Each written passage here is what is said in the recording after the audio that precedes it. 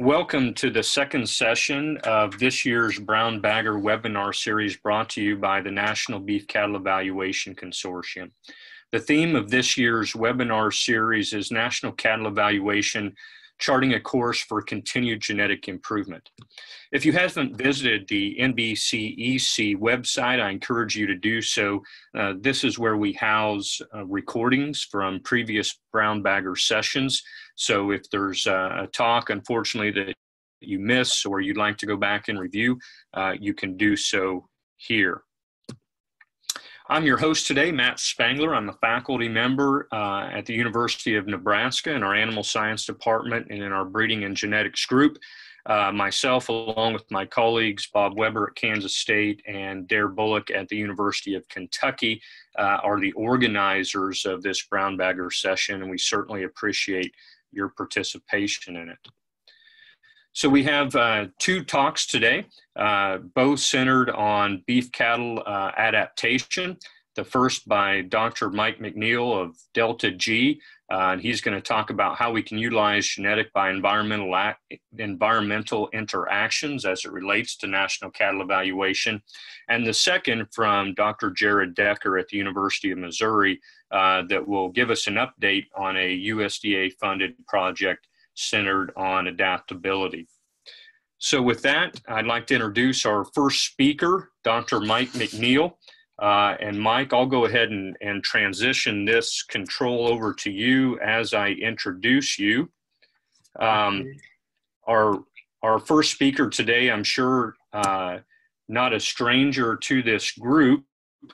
Uh, Dr. MacNeil received a bachelor's degree from Cornell, a master's degree um, from Montana State and his PhD in breeding and genetics from South Dakota State. For the first uh, eight to nine years of his career, he worked as uh, a statistician and research animal scientist at uh, US MARC. And from there, he transferred to Fort Keogh in Miles City, Montana, where he served as a research geneticist and led the Line 1 Hereford breeding program. He retired in 2011 from ARS and founded Delta G, uh, a private company that continues to work in quantitative genetics, statistics, and systems analysis with various breed organizations, private industry, and government organizations, both domestically and internationally. Dr. MacNeil has received many awards, uh, continuing service and pioneer awards from BIF and the Rockefeller Prentice Animal Breeding Award um, from the American Society of Animal Science and was recently named a research fellow by that same organization. Uh, he's also an honorary member of the South African Society of Animal Science and disting distinguished alumnus of South Dakota State. So with that, uh, certainly my great pleasure to, to introduce Mike MacNeil and to turn it over to you. Thanks, Matt. Well, we'll start with a quiz. If you can identify the breeds on this slide, you're in good shape. You can leave. Um, they represent sort of the diversity of breeds that we find in the world today. And, and with that, uh, we'll move on to, I'm going to talk about a piece of research. Okay. First thing we got to do is figure out how to advance the slides, Matt. Um, so in the, the bottom left, there should be arrows. Otherwise, you can use the up or down arrows on your on your computer. Yeah, I'm mashing the up and down arrows, and that's not doing anything. Uh, there we go. Um, so if we do that, I'm going to talk about a little piece of research that I did with Fernando Cardoso and Hamidi Hay um, using data from the Line 1 Hereford cattle, looking at genotype by environment interaction effects um, primarily for pre-weaning traits. We've known for quite a while, at least, at least since the, the late 1970s, that genotype by environment interaction did exist in our um, beef populations, and it's been argued at least that maybe we ought to consider those in performance testing, the exchange of seed stock across regional boundaries, and sourcing of semen, and so on. Um, Dave Notter and Dave Buchanan, um, in some work fairly early on suggested that maybe we ought to be accounting for these things in our evaluation of weaning weight.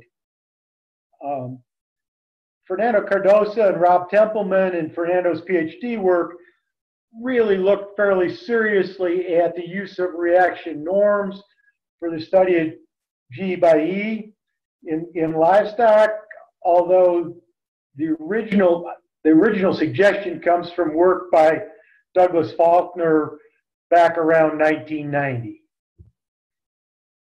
For those of you who are not familiar, this is a, a little brief, quick introduction to Line 1. Line 1 was founded in 1934 with 50 cows that were unrelated to two half sib bulls and has been maintained since that time as an inbred line. Selection within the line has been primarily for growth to one year of age. Um, and in the data set that I'm going to talk about today, there's phenotypes from a little over 7,500 animals, plus an additional nearly 2,000 ancestral pedigree records. The, the top of the blue bars in this graph would represent the genetic trend for yearling weight over the course of this almost 20 generations now of a, of a selection experiment. The, dot, the, the line above that relates to the right-hand axis and shows the percentage of inbreeding through the, the time that transpired since the founding of the population with those two half bulls. For those of you who've not been to eastern Montana, this is Fort Keogh, um, outlined in the, in the sort of green shaded box. It's directly adjacent to the town of Miles City. 22,500 hectares of semi-arid mixed prairie grassland that has never been broken for the most part. Um, it's a mixture of cool season and warm season grasses with various annual bromes invading in the past 35 or 40 years. It's a land of extremes in, in terms of climate, weather. Um, annual precipitation is fairly sparse relative to what most would be familiar with, somewhere is 12 and a half inches per year. Although this year we'd be grateful for 12 and a half. Um, management of the cattle, beginning around the 1st of January, um, there'd be some supplementation with energy and protein, um, and hay provided if snow prevented grazing.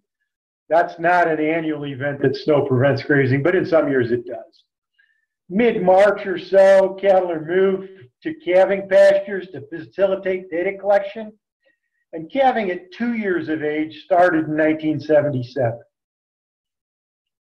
The data set that we're looking at is almost 2,400 cows, and on average, cows had 3.2 calves.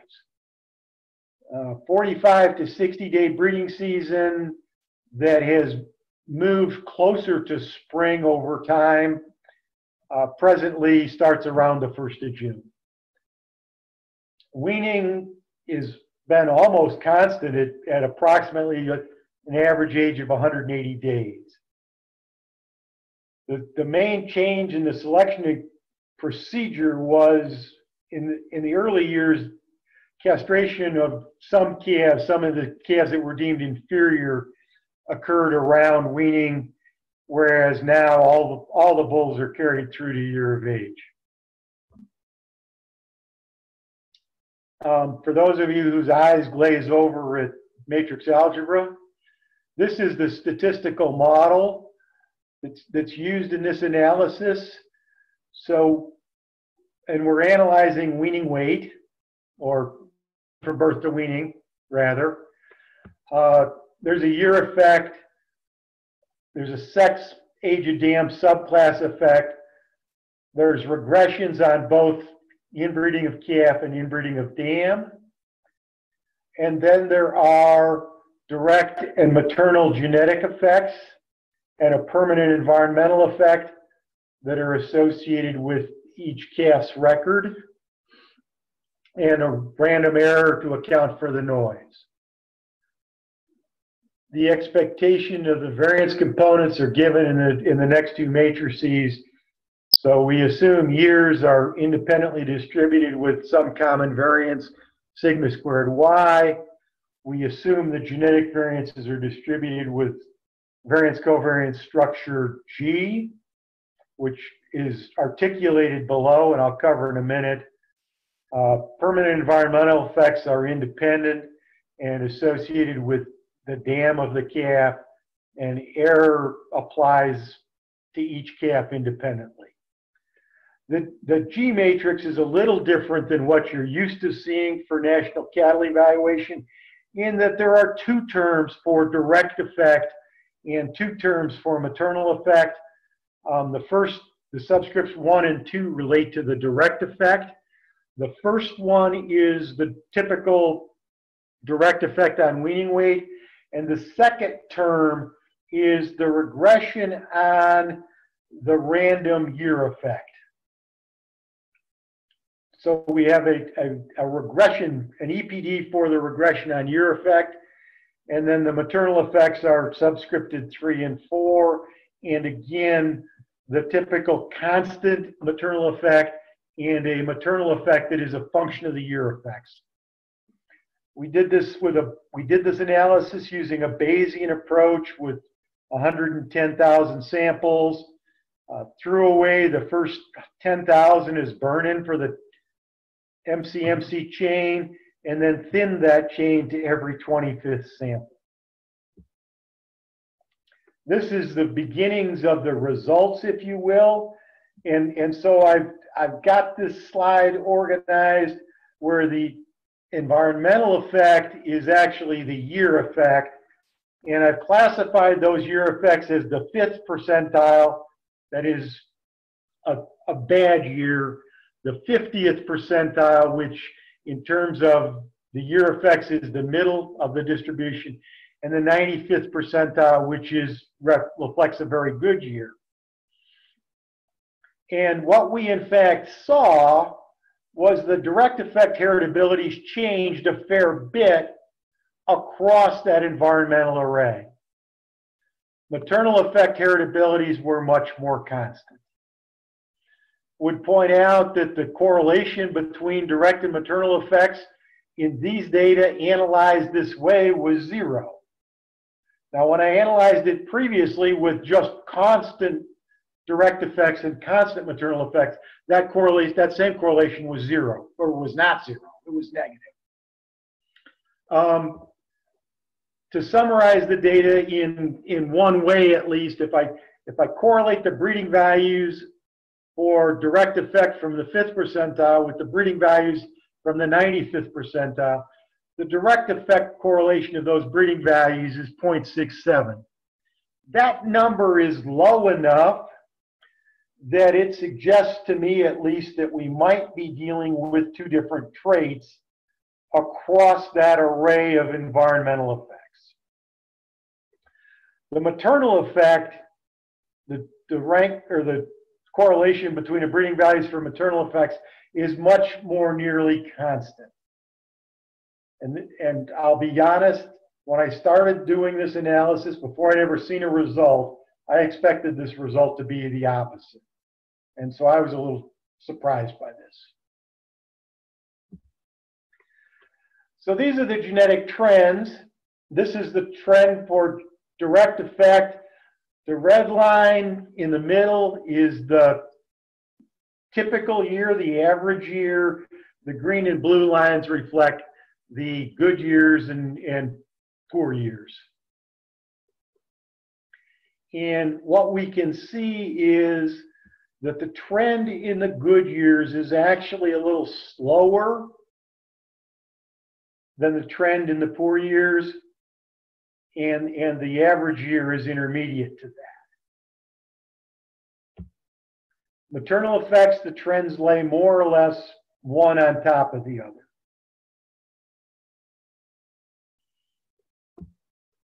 This is the trend, these are the trends then in the sensitivity to the environment.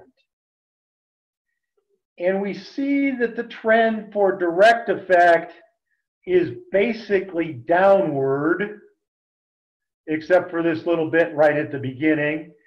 And the trend for maternal effect is pretty much positive. The fact that the direct effect trend is downward suggests the environment limits the expression of direct effect, and the positive slope for the maternal effect suggests the environment is actually adequate for the expression of maternal genetic effect, milk production, if you will, um, at Miles City. And I think biologically I can explain this a little better in a, in a couple of slides. Actually, it's the next slide. So this slide, let me orient you to this. Um, calving's back over here toward the, toward the y-axis, which is crude protein percentage of the forage from some data that was collected by the range scientists over a number of years. The, this, this line that slopes downward gently is the protein requirement for the calf. Um, if you were to put the protein requirement for the cow, it would kind of follow the protein requirement for the calf, but would be just a titch lower than that. This vertical line represents the end of the growing season. So, so the green up of forage occurs back here someplace in the in sort of May. And senescence, the, the end of the growing season, senescence occurs out here um, from early August to the to weaning in October relative to the to the calf situation. And what we can what we in fact see is for at least part of the period and a substantial part of the period, the protein content of the forage would exceed the requirements of the cow and the calf. Now bear in mind that also in this early period, this is when the calf is largely dependent on the cow for its diet, milk production. If we move to later in the season, as the calf is weaning itself from mom and becoming more reliant on forage, the protein requirements lower, and this calf is probably actually in a situation where it where its protein content in its diet may be limiting its ability to express its true growth potential. And I think that's why those environmental sensitivity pieces follow along the way they do, negative for the calf's growth, direct effect, and positive for the maternal effect. So in, in conclusion, uh, we showed pretty, pretty conclusively, if you will, that the genotype environment interaction did influence the genetic evaluation of line one cattle in the Miles City environment for the trait gained from birth to weaning. And I would like to suggest that the contemporary group solutions that we do, that we obtain from National Cattle Evaluation, may be useful in the way that we model effects, model the genetic effects for further national cattle evaluation if we're looking at genetic trend, we get better estimates of the trend if we consider G by E. If herd effects are repeatable, and I don't know the answer to that, then breeders might actually improve their selection decisions if they use those effects to modify the EPDs that they presently see in, in a way that made them a better fit to their herd. And with that, Matt, I'm going to kick this back over to you. I've got a couple of minutes for questions. Actually, somewhere's five to 10, and we can go on from there. Thank you. No, sounds great. Thank you, Mike. Um, and and Jared, you can actually go ahead and, and take control now, and you can be loading as as we're wrapping up with Mike. Uh, if anyone has questions, you can type those in the chat box for either of our speakers. I know Mike is is going to have to leave here in about five minutes, so he won't be around at the conclusion. But if you think of questions later on, I'm sure he would uh, be willing to, to receive an email from you uh, about that. What, one question I have, Mike, while we're waiting to see if anyone has questions, is um, how E might be defined in an NCE scenario. So, really, my question is how refined of a definition do we need for environment? I my preference right now, Matt, is that we would use some piece of the contemporary group solution. Okay. So so maybe maybe it's her year, maybe or or we get herd variances that are separate. Um, and if if those herd effects are repeatable, then we could we could actually tailor E to specific herds. So we could give you a, a, an EPD that was specific to your herd. That's a that's a little different approach than most of the G by E studies have used in the past, where we've tried to cut the country up into regions or used weather patterns or whatever. But but certainly not been down at the level of resolution of individual herds. And and maybe maybe one other final question for you. If we assume a, a multi-breed evaluation of some kind, and that multi-breed evaluation uses a common additive additive genetic variance, um, but doesn't allow for heterogeneity there between breeds. Does does that create in your mind any complications then um, as you move to a, a model that might uh, contemplate G by E? Well, just when you, when you say the words multi-breed, you already have created complications. yeah. And, and, and I guess, Matt, I'm, I'm going to beg off on the question because I don't know the answer to this. We've been playing around with animal models in one way or another for how many years? Almost 30? For, for individual breeds, animal models, 30 years, roughly. And, you know, we, we've come to understand those pretty well. I'm not sure we've achieved yet the same level of understanding for the multi-breed evaluation. Uh, there's a, a, question from Madi Sachi that says we may consider herd as a repeatable uh, variable to consider in NCE, but how about the year effect? How do we know about the future year effect? We don't, Madi. I mean, I mean, I, weather forecasters can't get the weather right from one year to the next.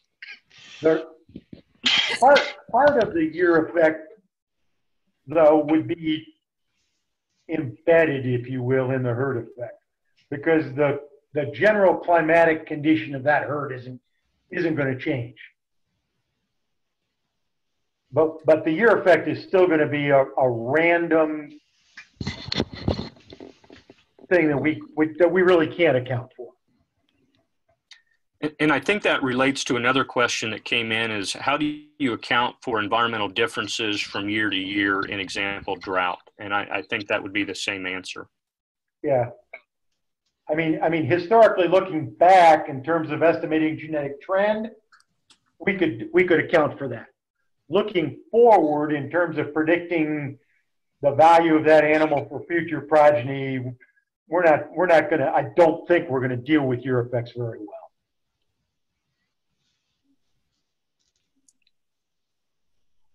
Good. Well, thank you again, Mike. I don't see any, any other questions, but uh, greatly appreciate the time you spent with us here today. Okay, you're welcome. Um, you can you can if there's more questions later, you can forward those on to me, Matt, and I'll try to address them. Will do. Will do. Thank you. Thank you. Well, we'll transition over to our second speaker of the day, Dr. Jared Decker from the University of Missouri. Uh, he's an assistant professor in the animal science division there and beef genetics extension specialist. He received his bachelor's degree from New Mexico State um, and uh, majored in animal science with a minor in biology there. Uh, and then he earned a PhD at the University of Missouri in genetics with a, a, minor in statistics. He grew up on a small farm in northwest New Mexico where his family raised registered cattle. And now he owns a small farm in uh, middle Missouri. Uh, and really, the impetus there is to teach his kids the value of hard work.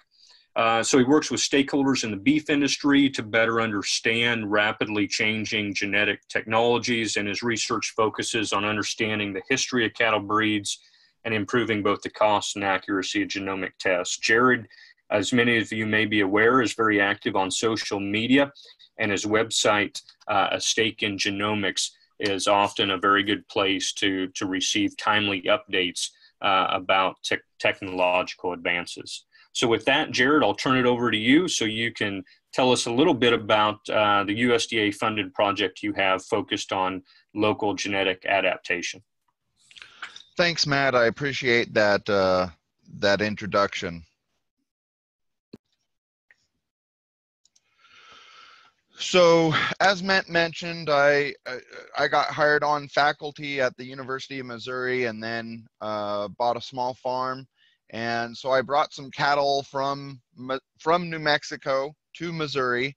And so the last four years, um, I've learned a lot about local adaptation in cattle. Uh, very few of those cattle that I've brought from New Mexico to Missouri have actually been successful.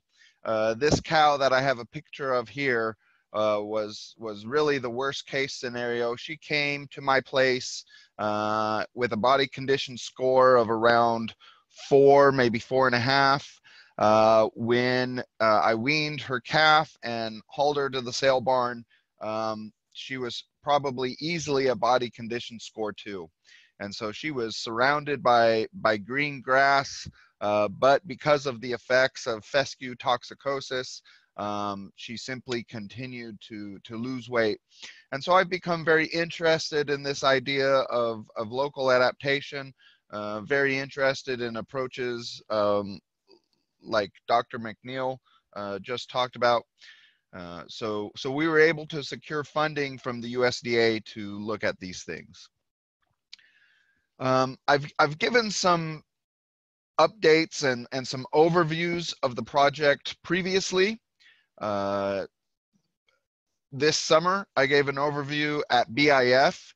If you're really interested in the research side of this grant, I would suggest that you pull up that uh, BIF 2017 newsroom and find my PowerPoint slides there and, and go through those. Basically, what the purpose of this grant is all about is trying to create tools for cattlemen to match that cow's genetics to her environment. So when we're making those selection decisions, uh, we're making those decisions on on genomic and genetic predictions that are in that are tailored to the stresses of that environment. And one of the things that my group has had success with is we can really improve the genomic prediction if we make sure we get the right SNPs, the, the most informative SNPs into that genomic prediction. Here's the objectives of the project. Uh, the first objective is really about looking at the history of cattle here in the United States and looking for, uh, in the DNA, signatures of selection that make certain lines of cattle within a breed uh, more adapted to different regions of the US. And so we're really looking in that DNA for those signatures of local adaptation and that selection for local adaptation. Then uh, in the second objective, we do work to try to uh, better understand gene by environment interactions from a genome-wide association study type framework and then we take those variants, the ones that were under selection, and also those variants that have uh, gene by environment effects, and we create region-specific genomic predictions. What I'm going to spend some time talking to you all about today is this third objective of the grant of educating the next generation of beef producers to fully embrace and properly use animal breeding tools. So one of the things that has kind of prevailed when we think about educating producers or when we think about educating students is this deficit model. Really, people are just lacking information.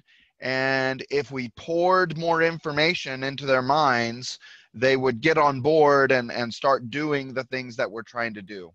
And that model of, of education really hasn't been successful and, and it's really hit some roadblocks.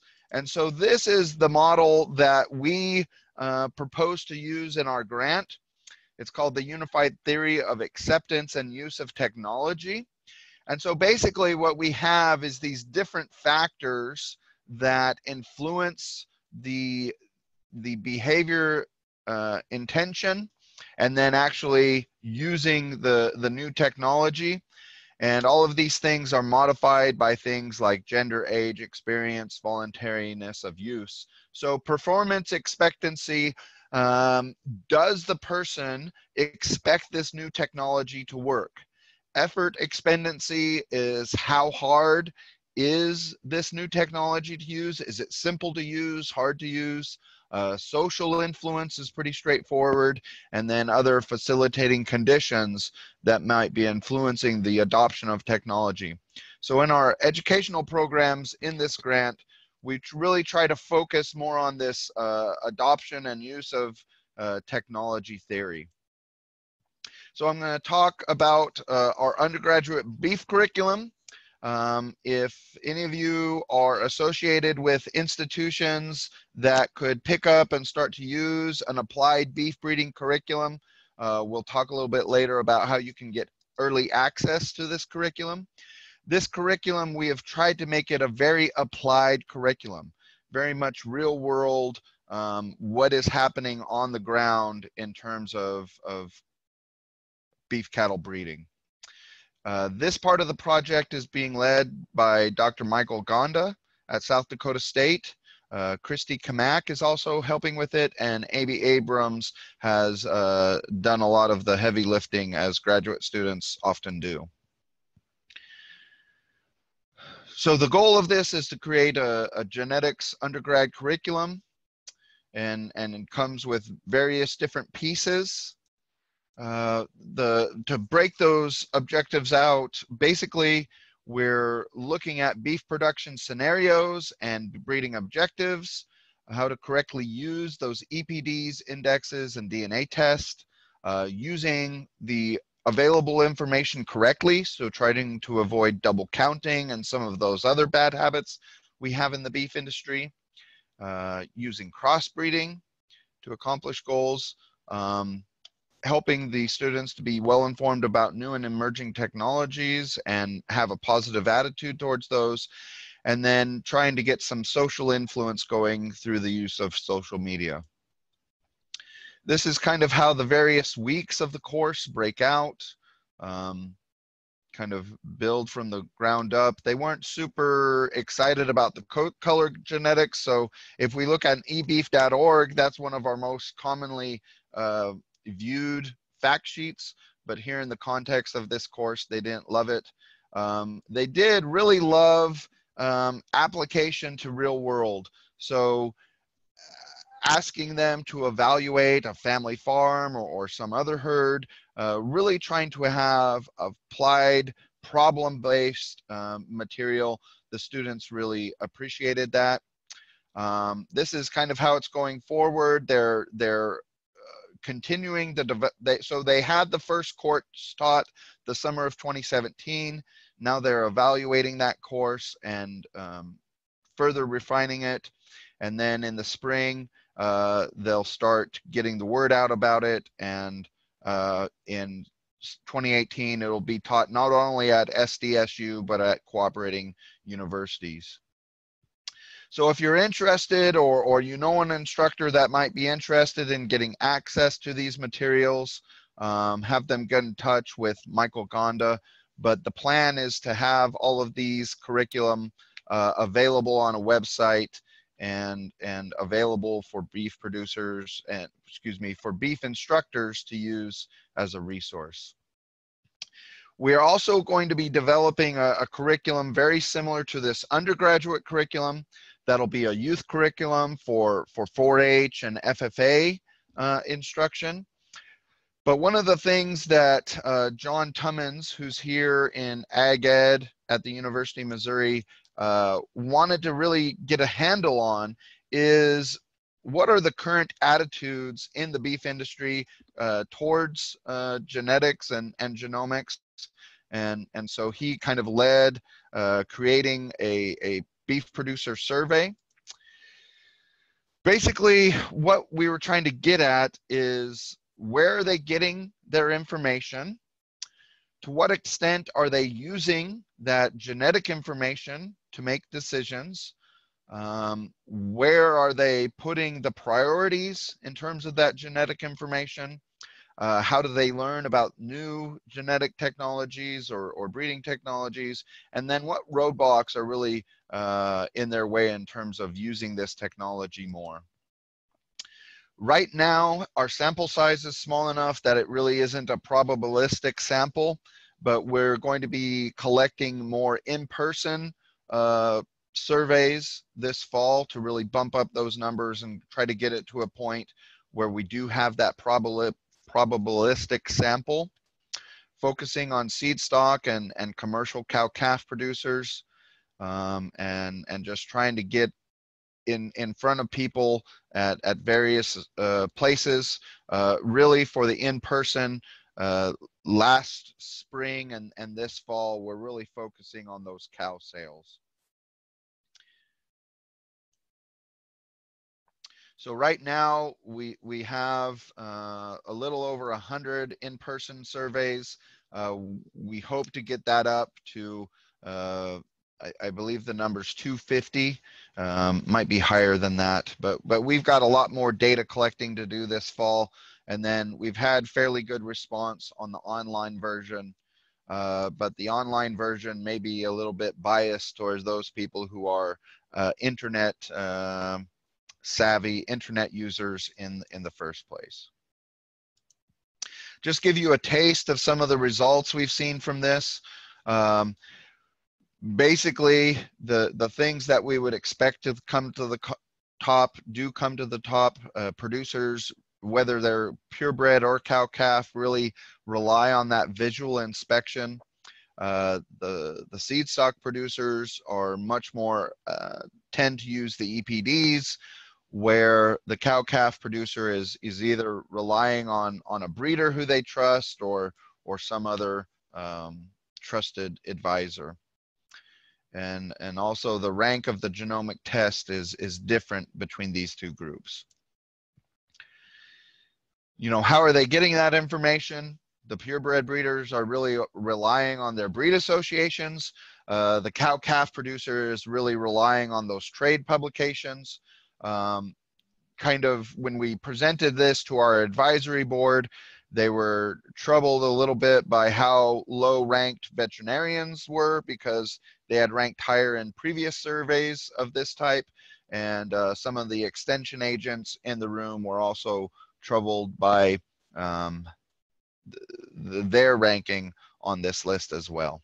Um, I think it just really if if these results are valid, I think it just really highlights that that we need to really be aggressive about having an impact as uh, extension specialists and extension educators.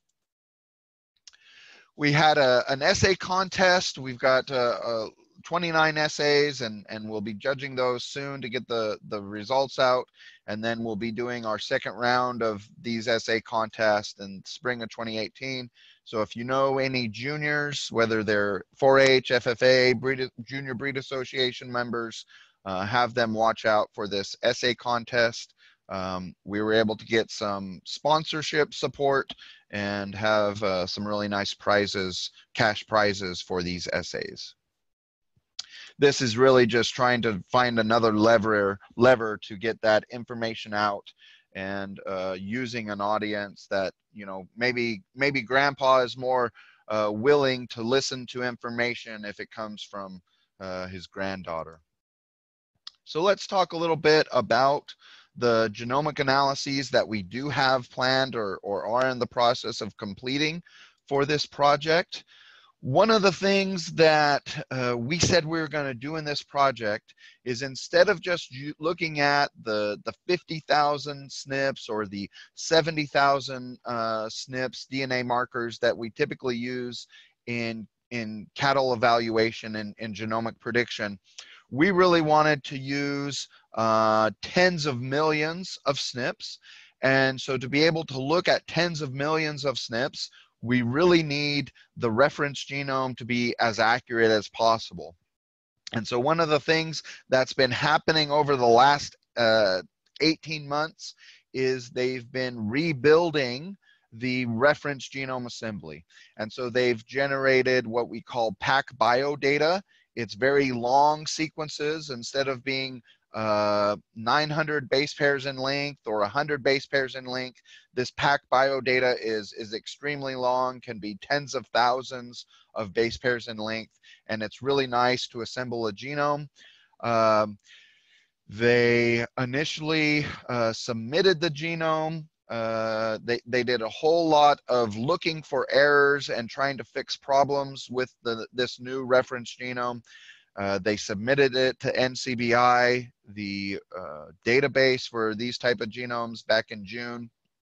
In July, they realized that uh, they were missing about 6 million base pairs out of the, the 2.7 billion base pairs of DNA. And so now they've just been going through and making sure they can get those 6 million base pairs back into the new reference. And so we've kind of been a little bit in a holding pattern waiting for this new uh, reference genome to be available to make sure we can do what we call imputation as most accurately as possible. And so that's held up some of our genomic analyses. Uh, we have uh, created uh, automated pipelines so we can just click a button and run the analyses. So once we have that resource in place in terms of the reference genome, we'll be able to analyze this data quite rapidly. This is kind of the 30,000 foot level of, of how we typically analyze data um, at uh, the University of Missouri. And so we have a lot of uh, practices and, and pipelines in place to make sure that we analyze this data in a very repeatable and accurate way. So we get genotypes either from uh, one of the genotyping companies or through a data transfer agreement from a breed association. It comes into our genotype database. We can then estimate breed composition of those samples and do the SNP processing. Then we can do what we call imputation. Uh, and then we can feed that into our other genome-wide analyses. We've got lots of uh, whole genome resequencing data that comes in, whether that's uh, genomic data, RNA data, or, or other types of data. And we can kind of combine all of these. Uh, so instead of looking at those 50,000 SNPs, we're looking at, at 10 million SNPs. But most of this process has already been um, automated or is in the process of being automated. So it's simply uh, just turnkey. So let's talk about imputation uh, what is the process of, of imputation? So here I've got a sentence and it's missing a few words.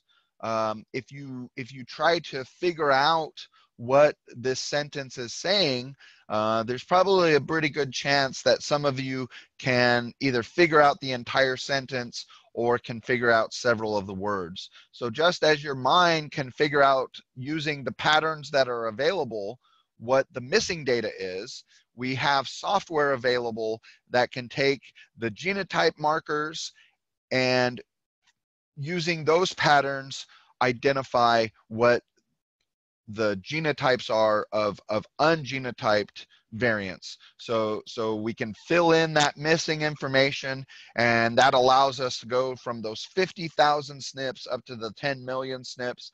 And for a long time in beef cattle breeding, we've talked about heterosis and crossbreeding kind of being the only free lunch that we have in the beef industry. I think this process of imputation really is is a free lunch with um, some some software we can genotype an animal at a much lower density and based on the pattern of of those genotypes get data on a much larger number of of dna markers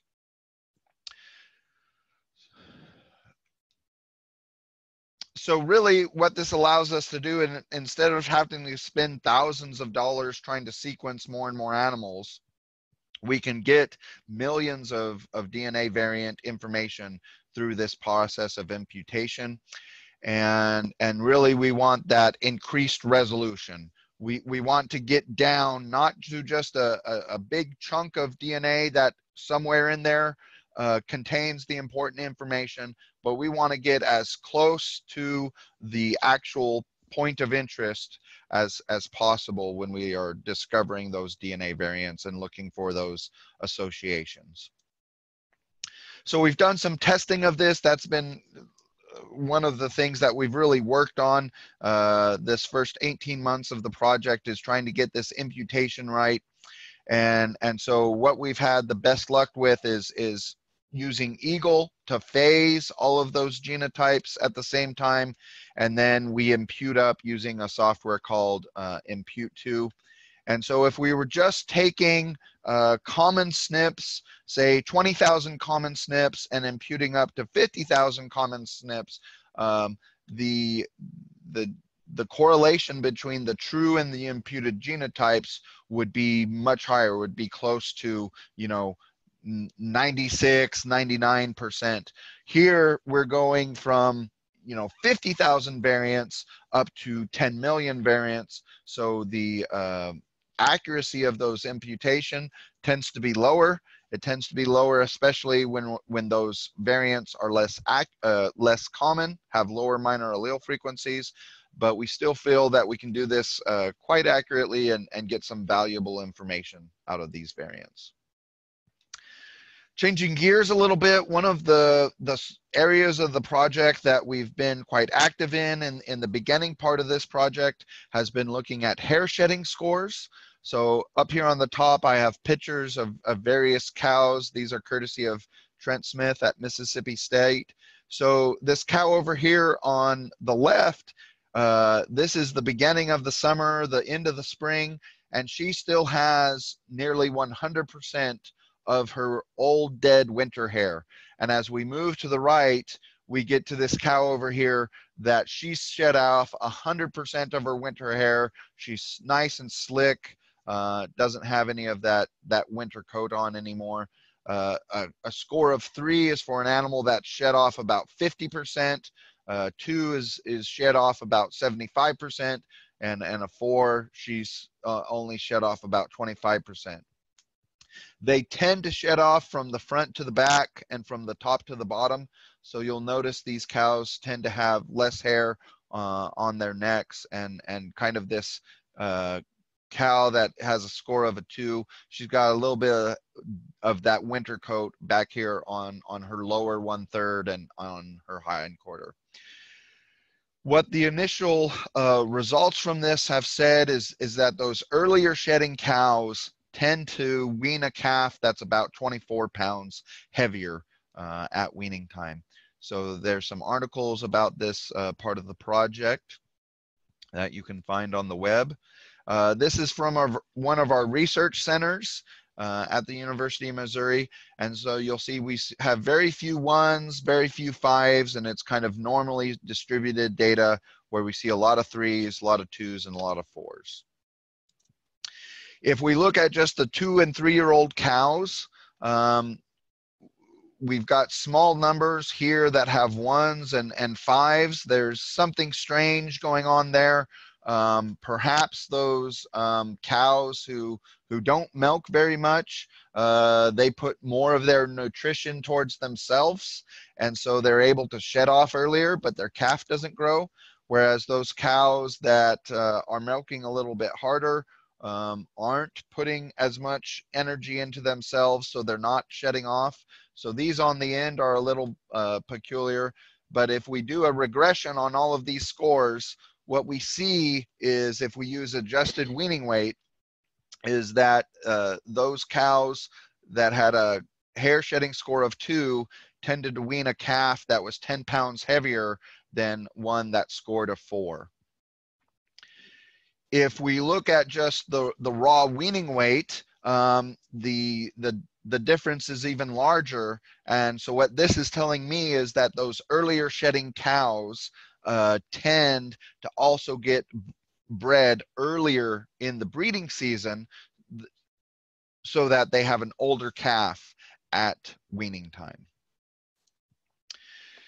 In 2016, we recruited and collected data from about 7,000 animals, um, mostly cows in this project. This year, we've added about uh, 1,800 animals. And so now we're up about uh, 8,500 animals that have been en enrolled in the project. We required herds to uh, report scores on their whole herd. So we required whole herd reporting. And we're genotyping those animals um, as we get those data collected. Uh, in some other analyses that I'll talk about here in a minute, we've divided the US up into nine different regions. And so most of our hair shedding scores have come from here in Missouri. Uh, we've got quite a bit in what I would call the fescue belt and, and some additional ones in the south and then few others at, at other regions. Uh, that was kind of on purpose is to focus this southeast portion of the US uh, just because that's where we kind of struggle the most with heat and especially humidity. If we, we asked producers if their cows were grazing on fescue and we had about 5,000 of those 8,000 cows that are uh, grazing fescue uh, sometime in the spring prior to collecting those hair shedding scores. So we might be able to do some gene by environment um, genome-wide association studies where we treat the environment about whether or not those cows uh, were grazed on fescue and look for um, re-ranking of, of SNPs, SNP effects based on whether or not the cow grazed fescue. This is the breakdown of the breeds. Um, obviously got a lot of uh, Black Angus data, uh, got several from Simmental and Hereford as well, uh, with the other breeds kind of represented here. Um, we, we've really been happy with with our ability to recruit cattle and producers uh, into that project. And part of the way we've done that is we really tried to create a win-win situation. So what we asked is that the registered um, cattle breeder turn in a DNA sample and a phenotype to us at the University of Missouri using those uh, USDA grant funds. We paid for the genotyping of those animals.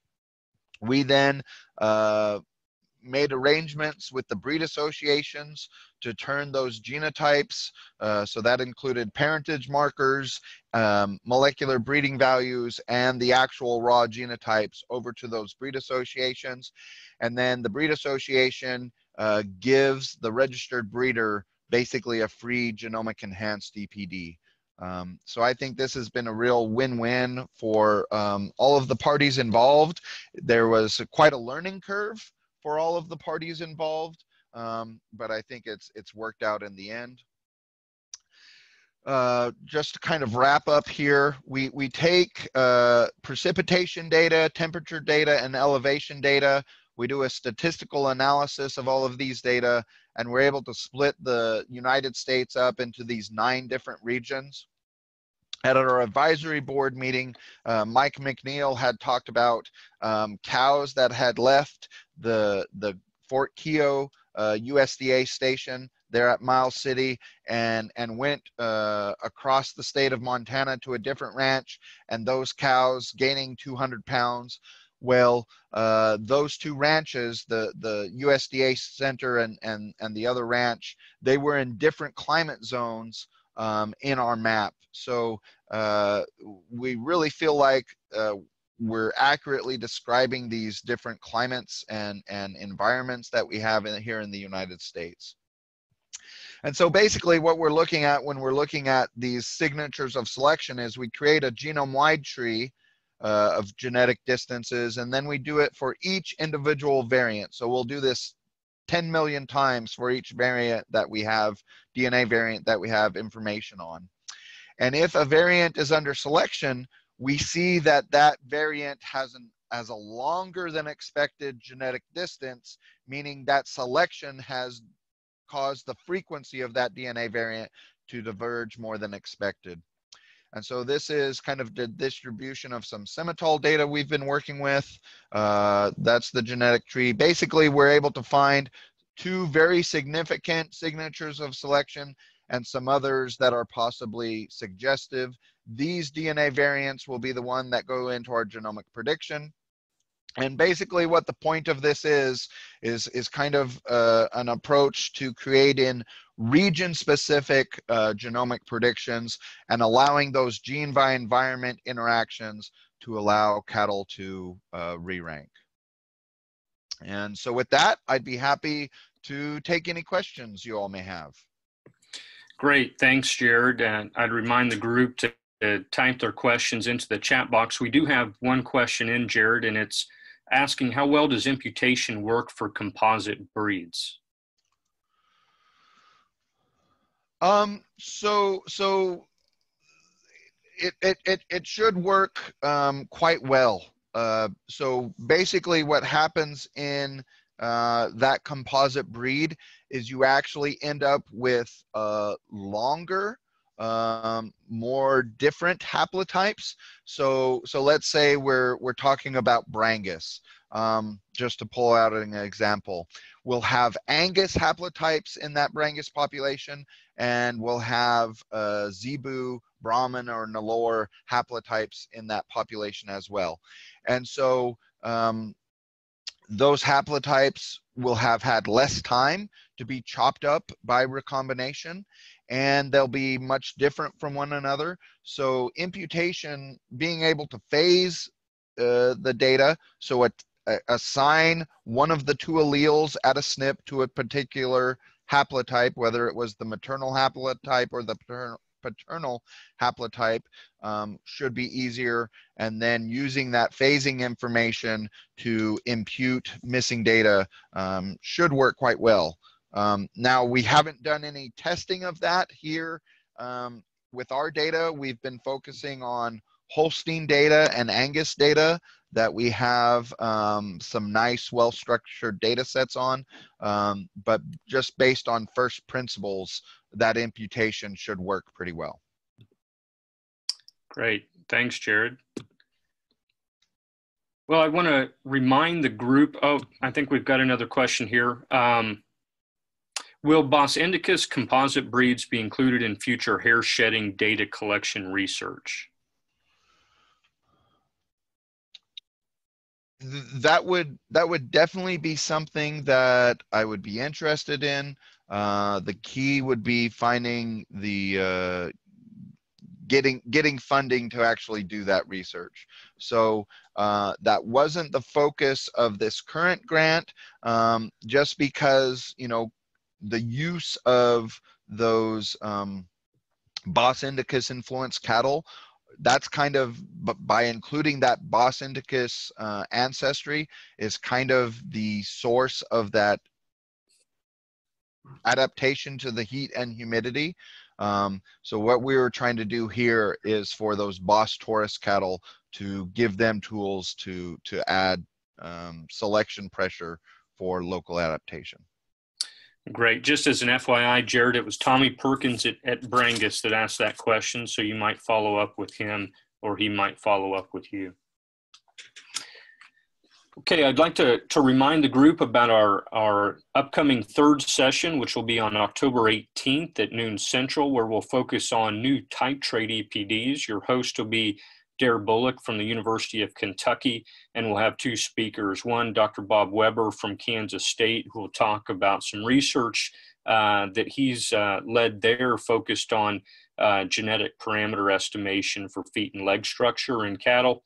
And then the, the second uh, speaker will be uh, Heather Bradford at the University of Georgia, who will talk about some work she did actually when she was at Kansas State under the direction of uh, Dan Moser, and we'll talk about teeter and teat and udder score uh, EPDs.